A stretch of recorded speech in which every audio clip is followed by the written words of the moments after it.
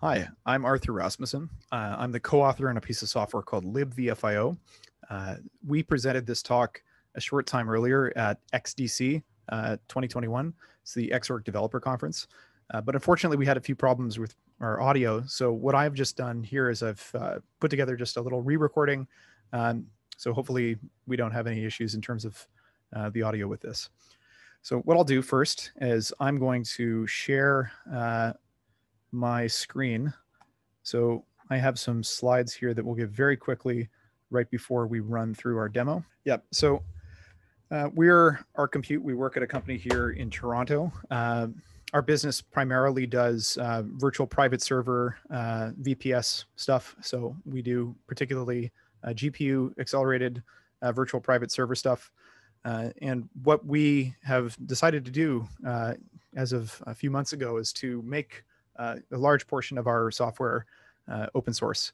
So what we're doing today is we are uh, looking at some of these problems uh, and we're thinking about how can we help not just address these problems for ourselves, uh, but address these problems hopefully in a way that is uh, you know more for the general benefit of users who have felt some of these pain points like ourselves.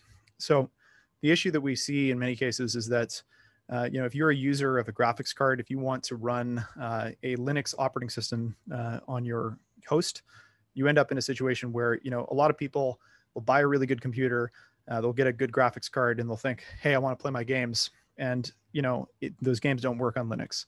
Uh, or if they do work on Linux, you know, they don't work great or, or there's, you know, questions around compatibility when new games come out. and a large, a lot of people who would run Linux, they just end up running uh, Windows because it's kind of the de facto, you know, everything will work. Uh, that's kind of, you know, the story. So unfortunately, if you do want to do any kind of graphics sharing functionality where you take uh, the drivers for your graphics card and you run them inside of a virtual machine and in the host system at the same time, really what you'll end up with or what you're left with is, uh, you know, you can either work with something like AMD GIM. Uh, so this is their GPU IOV module, which is Unfortunately, not a great experience on most hardware. Uh, or you can run NVIDIA Grid, uh, which is of course, you know, locked to very expensive hardware, uh, the data center cards, and you have to pay monthly in order to use it. So this is out of reach for the vast majority of people. Uh, at the same time, uh, because of this functionality being sort of locked out, uh, the opportunity to load balance GPU workloads, it's simply not in modern operating systems. People aren't creating uh, functionality to look at the resources or the scheduling time uh, of the GPU, uh, you know, or the, uh, let's say, allocation of memory. Uh, and they're not really able to do a lot of things that you are able to do with mediated device drivers, where you can lock certain address ranges to certain virtual functions, and you can control the scheduling um, with a great deal of granularity. So with those problems in mind, we put together some solutions for that. So the two pieces of software that we're making available today uh, are libvfio uh, and the program that integrates that library, uh, which is what we're calling Hyperborea.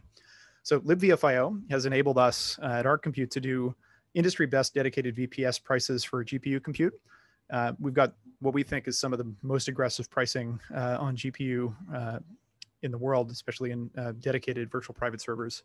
and you know, one of the things that I think I left in there is a slide from another presentation is uh, that we do have a dedicated support team. But uh, for libvfio and Hyperborea in general, uh, we are enabling sort of this ability to do uh, GPU multi-tenancy features, uh, creating virtual machines, sharing it between the host and the guest systems. Uh, it's all very, you know, sort of seamless piece of software. It sort of integrates that all in one component, and it automates the creation of the vGPUs when we're, you know, creating new VMs uh, it automates the pairing of it, uh, and it sort of auto load balances a lot of that sort of stuff. Uh, today, one of the things uh, that we're making available in the open sources is actually the ability to use this capability on, um, in, you know, all consumer or most uh, consumer NVIDIA cards. Uh, so what I'm going to present in a moment, what I'm going to show in a moment is actually a, an example of something that's running on an NVIDIA consumer card. Uh, as well, we're supporting a limited number of AMD GPU devices. Uh, so devices that we have in consumer contexts uh, been able to hack. So for example, this um, if you're an enthusiast of libvfio, you might know this. Uh, it's been possible for a little while to hack the W7100 cards uh, from uh, AMD to enable the vGPU functionality if you'd like to work with that. So that's one possibility. the other possibility is working with the Intel DG series cards. So this card in particular, this is the Intel DG1. Uh, they are now you know, marketing their Intel Arc GPUs. Uh, that in particular, with the Arc GPU, uh, is sort of intended to be a version of the graphics card that has none of the sort of market segmentation uh, for this virtual GPU type of uh, functionality. So if the very low end, this was a card that we harvested out of a 500 or $700 all in uh, machine, we're able to get this graphics card out. And this uh, GPU is able to create the uh, vGPU stuff, so the virtual functions that are necessary to forward to the VMs, uh, even at the lowest price point, so the very, very low end part. And that's going to apply through the mid end and the high end parts as well. So there's no uh, real fragmentation in the availability of those APIs through the Intel parts. So that uh, that is very exciting. So we're supporting now today uh, those devices and the tools in order to actually launch a virtual machine with that are going to be available at libvf.io, uh, which you can see the link uh, for at the bottom of the screen. Uh, so this work, I have to be clear about all this. I am standing on the shoulders of giants, working with really awesome people. so I can't take credit really at all for a lot of this stuff. The building blocks are there. I'm just kind of gluing things together. So Wendell Wilson uh, is somebody I really have a lot to, uh, somebody who I owe a lot to. Uh, so he has encouraged me uh, through career changes or career direction changes. He's encouraged me and helped me, uh, you know, at least in the area uh, where we share some common interests, which is in this VFIO stuff. And he certainly has, you know, caused the community to explode through his work. and in our personal interactions, he's been very helpful for me as well in a whole variety of different contexts uh, Geoffrey uh, McRae GNIF. He is, uh, in my personal opinion, uh, the authority on this subject in a lot of different places. He's written really excellent tools uh, like Looking Glass, which we're going to have a look at in a moment, which is running behind me. Uh, and he's also written some excellent blog posts and forum posts on the subject of virtual GPUs and how exactly to use them. so Michael Buchel, he's the co-author of libvfio with me. He's also responsible for refactoring a lot of very cringy uh, sometimes not functional code uh, that I've written, uh, and you know he'll often go back fix some of those code quality issues up before we go and release them as open source. Uh, James Borst, he is uh, an advisor to us. He's been extremely helpful uh, throughout our business. We wouldn't be here without him. Uh, Shervin is one of our software developers who's working on some of our web stack stuff. Um, Sander, who's also helping to work with libvfio, also extremely helpful. So that is the uh, slides. So now that we're done with that, I am going to just exit out quickly uh, and we will we'll resume with the uh, demo. So what you can see running behind me is a uh, graphics system uh, that's actually running on a single graphics card. Uh, so this I can show you really quickly.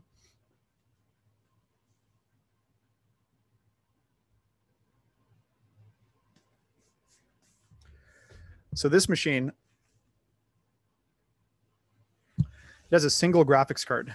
So that single graphics card, the resources that it's using are actually being shared between a virtual machine and the host system at the same time. Uh, and the creation and the management of the uh, vGPU uh, interfaces, so the virtual functions, uh, the parsing of the IOMMU groups, uh, the pairing of the virtual function to the virtual machine, all of that is handled uh, by libvfio. So what I'll do here is I'll actually show we can shut this VM down, we'll reboot it. And you can actually see in real time us sort of going through and making that work.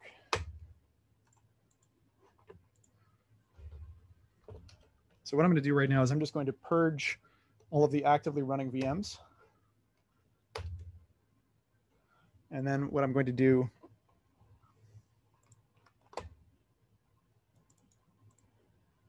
is restart it.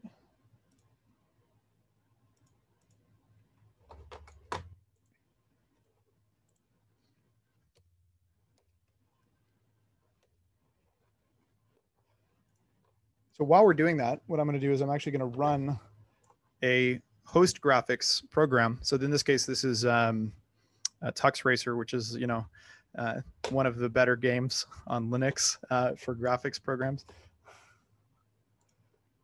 So while that's running, you can actually see uh, the resources being used by the host. Uh, and as you can see over here, what we've done is we've gone through, uh, you can't really see it because the text scrolls too quickly. Uh, this is parsing the IOMMU groups. Uh, then from the parsed IOMMU groups, it's going and it's targeting a particular device. Uh, when it finds the device that it's going to target, what it then does is it creates a mediated device. That mediated device, what then happens is that it's bound to a VFIO driver, which essentially keeps it from being initialized by the host then it's automatically paired to a guest operating system. Uh, and then that guest operating system, it goes in, it spawns up. So right now we're actually copying a file uh, from a base image. So that base image is like a, a virtual machine image that is um, essentially like a template. So when the template clone is finished, which you can see it is just finished, it's booting up the virtual machine uh, with that mediated device driver attached to it. Uh, and then as you'll see right here, uh, what we're doing is we're using Looking Glass, which is that project from GNIF. Uh, so he is doing here a, uh, whoops, clicked the wrong link there. This is a, uh, a technique for doing copyless uh, DMA transfer of frames uh, between the guest operating system and the host operating system. So it's extremely low latency graphics drawing. So the whole point of this is that if we actually look here, you can see this is running at about 200 frames a second. Uh, while we are running uh, you know resources on the host operating system uh, and you know the guest operating system at the same time.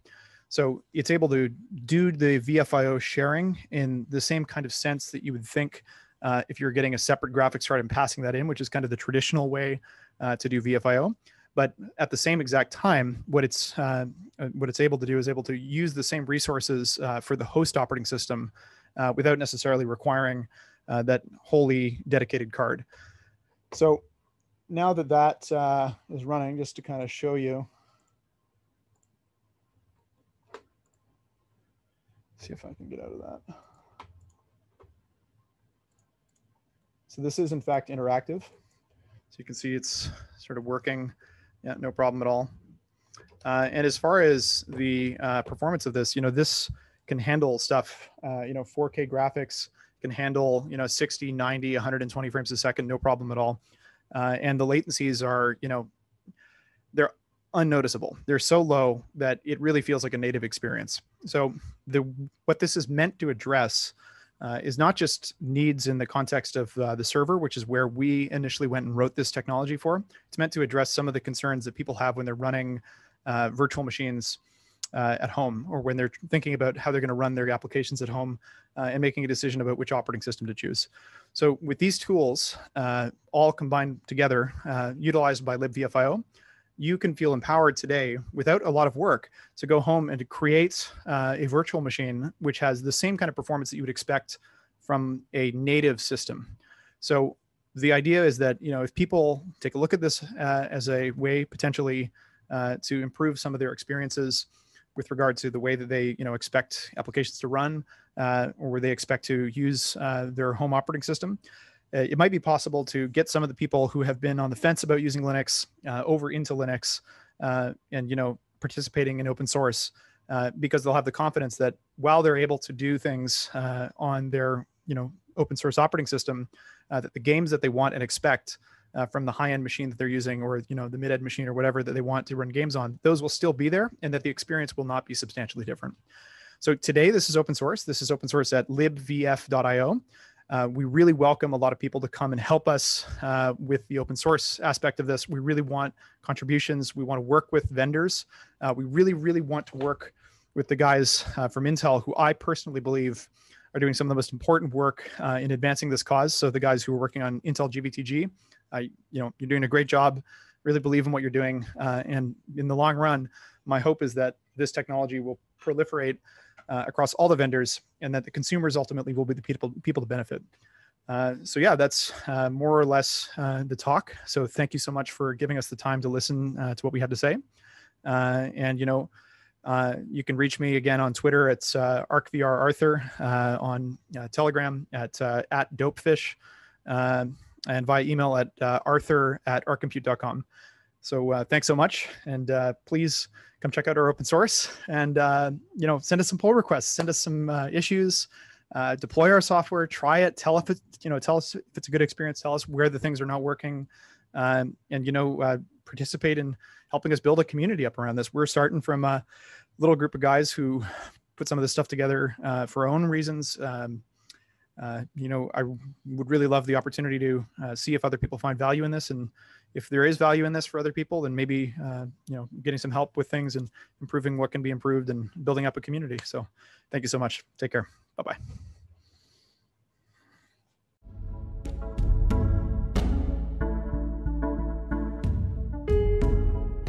You have an open source driver in Mesa for current generation hardware you have machine readable documentation for that architecture in Mesa, and you're about to be certified conformant when the vendor of the hardware comes out and deprecates the architecture, releases a new architecture, and doesn't document it or release open source drivers for it. What do you do? Well, you reverse engineer it, of course. But the vendor does give you one little secret. They tell you that there is operational equivalence between the instructions in the new architecture and the instructions in the old architecture. But wait, you had machine readable documentation for the old architecture, so there's no new reverse engineering needed, there's no new concepts, no new execution model. All you have to do is map the new encodings to the old encodings. This is certainly a tedious job, it'll take you a few months of work, but there's nothing conceptually impossible here. And more so, you have the potential to do incredible reverse engineering uh, in terms of the level of detail to go for perfect, not just good enough. You could even match the vendor syntax, uh, confuse them a little bit if you'd like. So great, you reverse engineer it, and what do you do?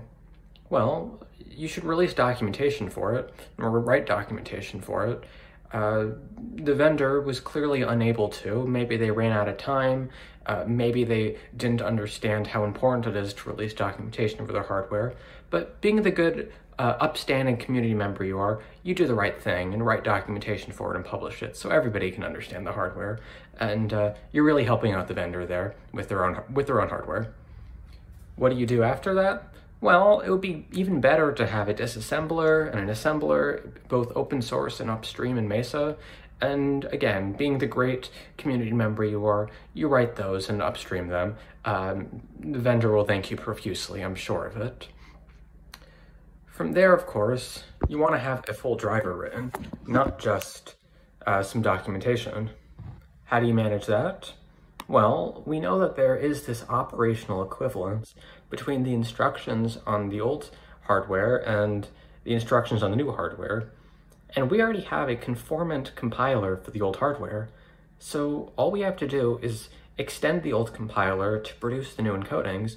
We can reuse all of the instruction selection and all of the optimization passes with very few changes. So that's all we need. And with uh, so with another few weeks of effort, you can spin up a prototype uh, targeting the new hardware and upstream that code. And uh, before you know it, you have a Mesa driver upstream for this new hardware, uh, all open source, no mysteries, open documentation, and the hardware vendor only has you to thank for it. This is the story of the ARM Mali G78 with support coming into Mesa now. Thank you.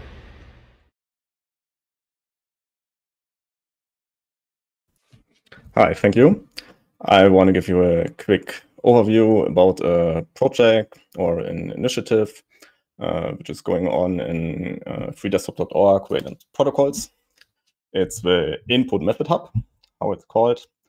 And uh, the idea about it is to assess and document and think about uh, two protocols which there are in Wayland protocols the text input and the input method protocol. And their purpose is to control software composited text, as I would describe it. So it just means that instead of having like a physical keyboard to input text, you have some kind of software component. And if you look at the bottom, you have two examples for that, like a virtual keyboard, or for example, like an input method editor for uh, yeah, often Asian languages need this for uh, having uh, to cover all the different characters that there are. So uh, there are already protocols for that in Wayland protocols. Uh, as said, text input and input method are the main ones. Uh, but there are different versions of these protocols, and actually, some protocol, uh, some projects use the protocols from freedesktop.org. Others have different versions of them.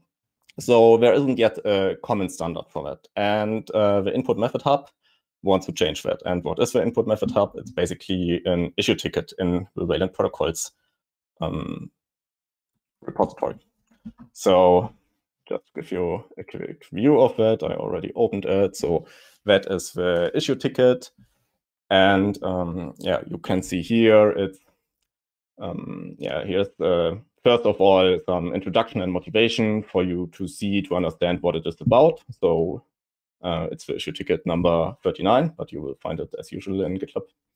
Um, there is a description of the challenges that there are, and uh, especially to give you an overview what this stuff actually does. This uh, graphic I didn't include it in the presentation because you can see it here, and it basically means you have an input method provider on the one side, which is client, and a text input um, text input clients, which then receive this text which the input method uh, client sent.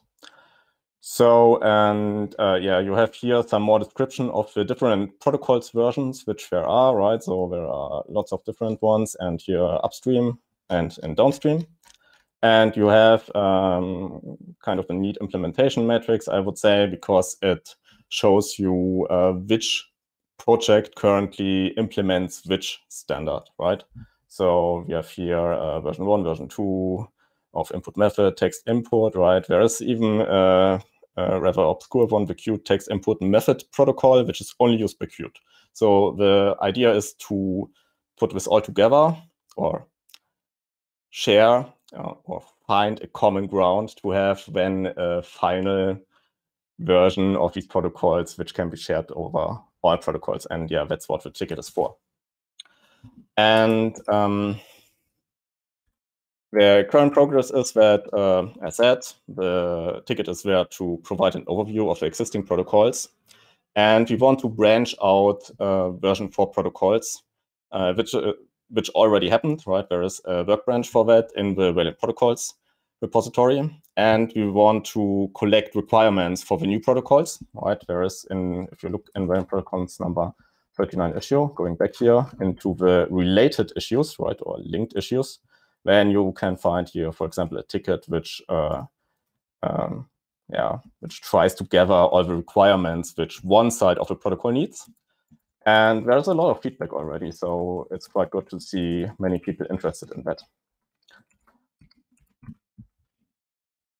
So the current status, lots of feedback, but only from one side of the uh, protocol yet. So there's not so much uh, feedback yet from the text input side. So uh, that's something to look into more. But there's, interestingly, I learned this today, a Qt prototype for the next text input version, uh, which is which we are currently working on. So that would be then version four, right? Or the version which is currently uh, um, being published on this next branch.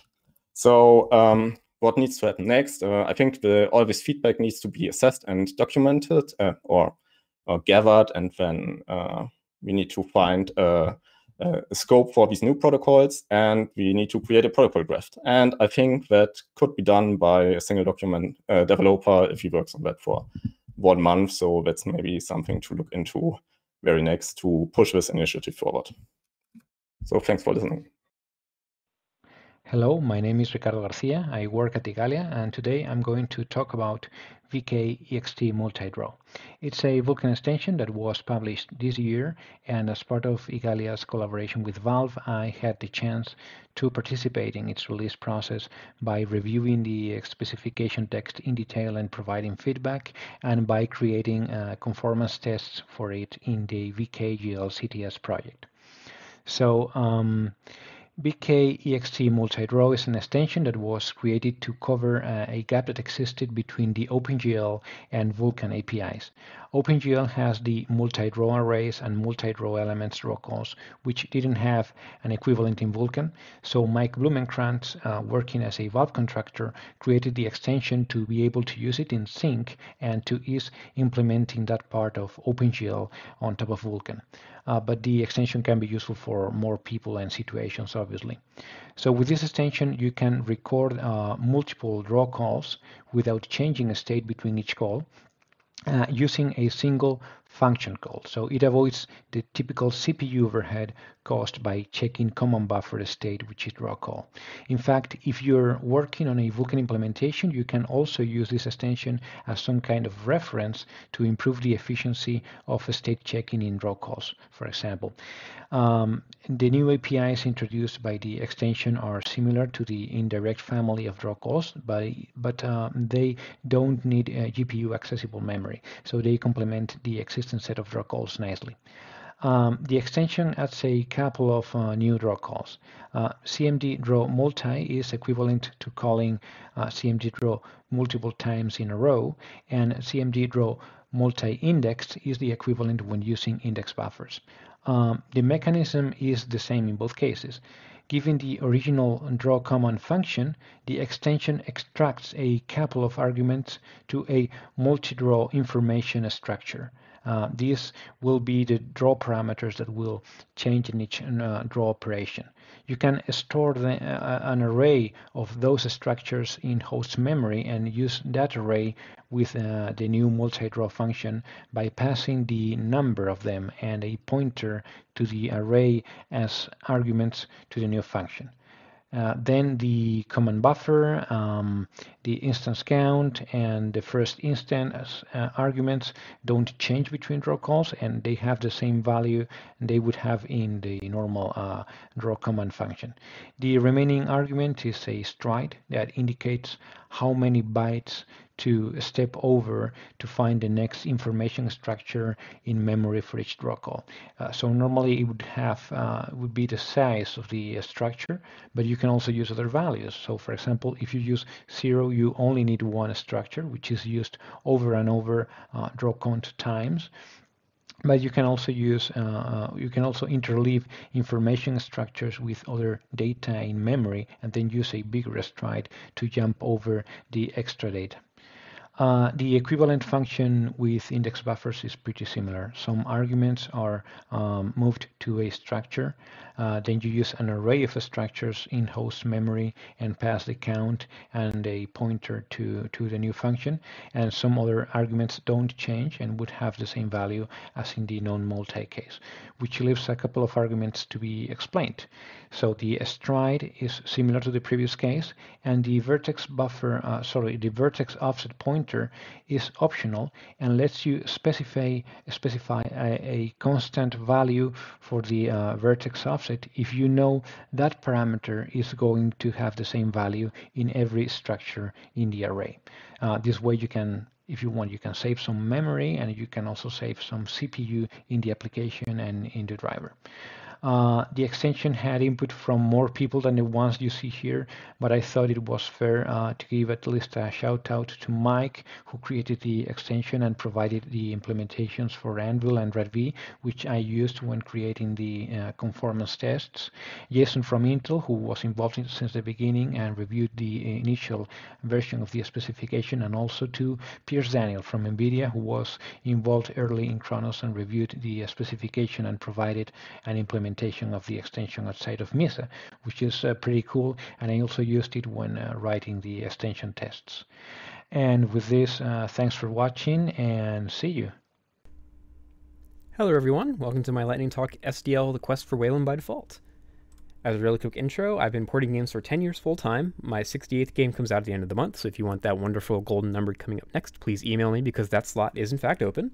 Uh, SDL is what my entire catalog uses. It's what pretty much every Linux game uses and what every big Linux game engine uses. So, like Unity, Unreal, Source, Game Maker's IDE just recently started using it. Uh, it's it's hard to find a game that doesn't use it. Um, and so for SDL, Um, we actually default to X, which is no surprise to anyone. We've been using it for a very long time. Um, but what might be more of a surprise is that we actually have had Wayland support in SDL for quite a while. Um, it just hasn't been considered production ready because there's lots of things we have to do. Um, and we have pretty much done all of those things, except there are a couple that are uh, still pretty major. Um, and we're going to go over those issues today. Uh, the big tracker that I sort of threw together in the form of a pull request is in that link. Uh, most of what we have left are, at this point are just bugs. So like keyword and text, there are a couple problems that uh, were just caused by me not knowing what I'm doing with XKB Common or the text input protocol. So if you're familiar with either of those, you could probably jump in there and fix them in like a day. Um, there are some wish list items, but they're not that big of a deal, so we're not considering them mission critical. Um, because really, when you actually go and run a game with SDL with Wayland enabled, you'll find the experience pretty much feels complete at this point. Um, we have client-side decorations finally. Uh, we have full screen toggling working. High DPI works. Input's pretty much there.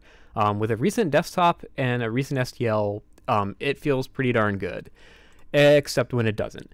So we have basically the two major blockers, and the first one you can see right here. Um, the first blocker is uh, opaque presentation, because as it turns out, a lot of games, mine included, uh, use alpha in the back buffer. Because um, we actually do use the alpha channel internally, but we just weren't expecting that compositors might actually use the alpha channel as transparent. Crazy, right? Alpha as transparency? Yeah, didn't see that coming. Um, but problem is there are lots of games that use this, and not all of them are going to get updated. So we need something in SDL that lets us kind of preserve original behavior because we don't want we don't want to tell Wayland to not do transparent rendering because you know that's there are genuine reasons to actually support that. So in this case, we saw that in Vulkan there's already something that basically fixes this, uh, but there isn't an EGL version. So we just decided to make an extension and by we, I mean Eric, because Eric designed, documented, implemented basically everything. So thank you to Eric for basically doing all the work on this. Um, but yeah, it's in the EGL registry. SDL uses it. NVIDIA's acknowledged it, so it'll be in a driver at some point. Um, the Mesa implementation is done, um, but we don't have a test. There's an SDL sample that has a acts as a test, but it's not, as far as I know, it's not sufficient for CI. I could be wrong on that. Um, but if you like making test programs, go to that link. Uh, we could really use a test because then it can go in the next Mesa release. Uh, less finished is the other blocker, which is surface suspension.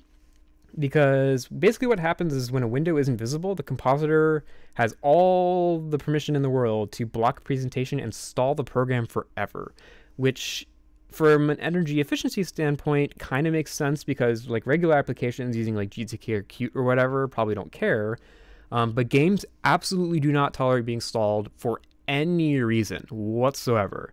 Like, absolutely zero tolerance. Um, I could go on for a whole hour about why this doesn't work and why there's no way around it. Just know that it doesn't work and we need a way around it. Um, my original idea when I first found this bug was well, let's do swap buffers with timeout. Like, once again, just going back to Vulkan, which has timeout in presentation, let's just rip that off and make an EGL extension. Um, the problem is that, I mean, other than design, like the design isn't that hard, but actually fixing it in the back catalog for all applications, as well as getting Vulkan to use it, because it turns out nobody in the Vulkan world uses timeout, um, as it turns out. Uh, basically there's like a lot of reasons why even though this is a decent idea um, in practice it wouldn't actually fix the catalog very well um, unlike the other thing which definitely would do a lot better is something that Joshua Ashton from the DXVK team kind of came up with, which is a protocol. Uh, it doesn't really change behavior in any way. It just tells the applications what the compositor is doing. So when the, a Windows service is suspended, it just fires an event saying, yes, we're suspended. And when it's back, it fires an event saying, okay, now it's not suspended. It's a very simple protocol. Um, it's very easy to integrate. Like SDL already has a patch. EGL and Vulkan have prototypes that work. Um, and we have, you know, a prototype on the server side too, which is great.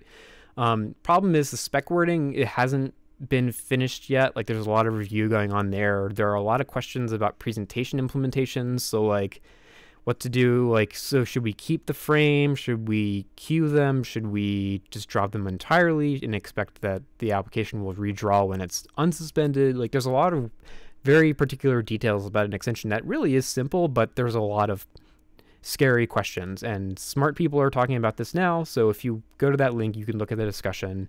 Um, I really would like for this to be wrapped up soon because this is probably the most serious bug by far. Um, and we need this to be fixed for Wayland to be the default in SDL. Like it's pretty much non-negotiable.